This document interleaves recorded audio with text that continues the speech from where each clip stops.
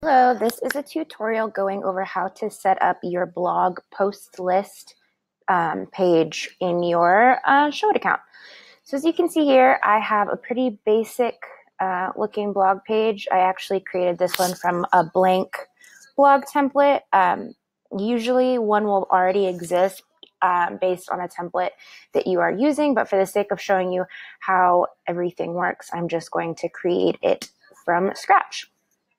So the first thing you want to make sure is that the canvas, which here is called post list, is set as in post loop, which is going to allow the WordPress content to filter through. Um, I always click on combine views as posts, and I will show you why here in a moment. So basically, the way that the blog is set up, um, each canvas view is a different blog post that's going to be pulled from uh, WordPress. So in theory, each of these are going to be like this, and then you could then duplicate them um, easily and move them over. But I think the best way to do this is to actually lay this all out before you move them into views so that it is much easier um, to design and have everything look equal. So I'm going to do all of this. I'm just duplicating something that I've already made here over and over again. I'm going to center this. I'm going to have six posts on this page just for the sake of this tutorial. Now, each of these images I'm going to make sure are checked as WordPress featured images because I want the WordPress featured image that I select in WordPress to show here uh, when this blog is live. Each of these titles here, we're going to go into text properties, post title, post title, post title. Um, so when I copy and paste this row, um, all of those settings are going to copy as well. And I have a little read more button here as well. So basically this is just going to be a click action to a WordPress post so that when you click on it, it will filter through. I also like to do this for the image so that if you click on the image, it's going to take you to the WordPress post as well. Okay, so none of these, um, basically, in order to have the WordPress placeholders, if you're not seeing this, you want to go back to your canvas and make sure that it is in uh, a WordPress in post loop. Great, I'm gonna duplicate this, move it down.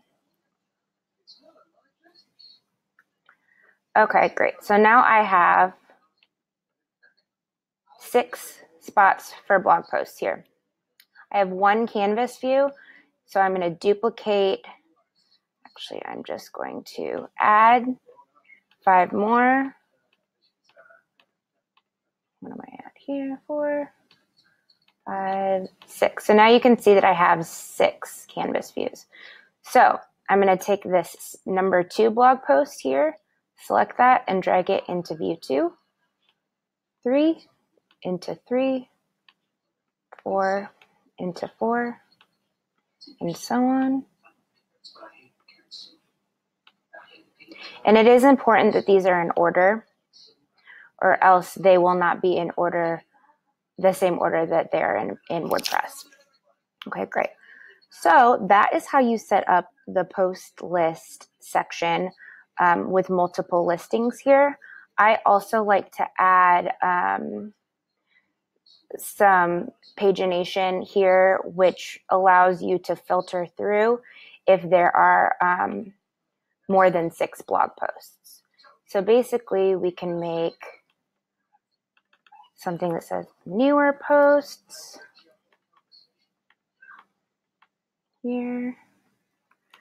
And we can make an older posts.